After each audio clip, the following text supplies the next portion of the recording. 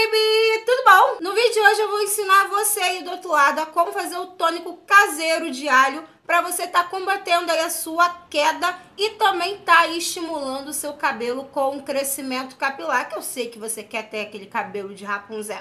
Se você ainda não me conhece, me acompanha aqui nas minhas redes sociais, ó, Paula Letícia Oficial, principalmente no Instagram. Se inscreve já aqui no canal e se você gosta de receita caseira, já deixa o teu curtir e também teu comentário pedindo aí o próximo vídeo. E para fazer esse tônico é muito fácil, você vai precisar de água e de alho, tá bom? Então, sem enrolação, vamos logo ao passo a passo.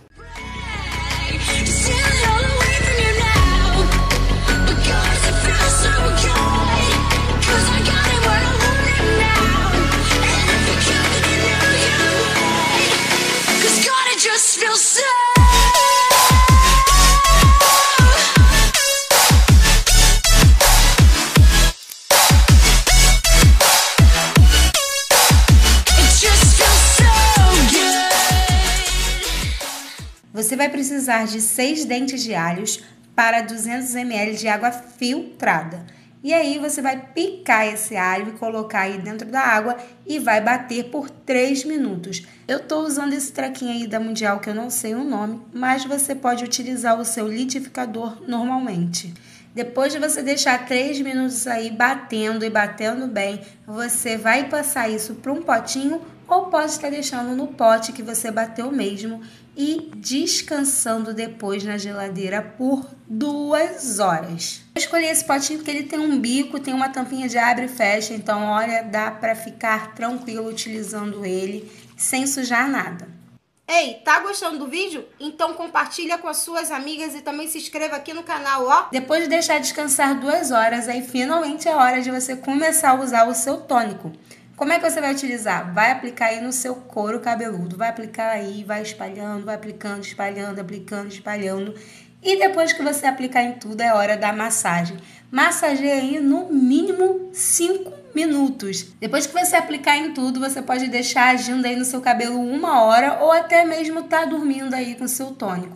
Mas eu vou avisando, hein? O cheiro de alho é bem forte. Então, se você vai dormir com alguém, é melhor você lavar o cabelo, deixar uma hora aí lavar o seu cabelo.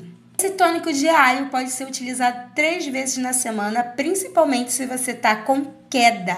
Agora, se é para estar tá estimulando aí o crescimento, duas vezes já é o suficiente.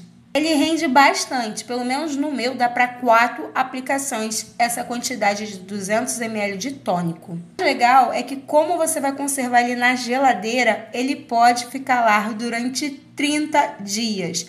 Gente, é muito fácil. E você deve estar utilizando esse tônico aí no máximo 3 meses. Depois disso, é hora de mudar a receita. Se você gosta do meu vídeo, compartilhe ele no teu Facebook com as amigas para elas aprenderem a fazer esse tônico caseiro também e economizar. E se você sempre me assiste aqui pelo canal do YouTube, dá uma passadinha lá no blog que eu vou explicar para que todos os benefícios que tem do alho no cabelo, tá? Vou explicar para que serve e todos esses benefícios. Não esqueça de me acompanhar no Instagram. Um super beijo da Pitu. Até a próxima. Tchau. Fui!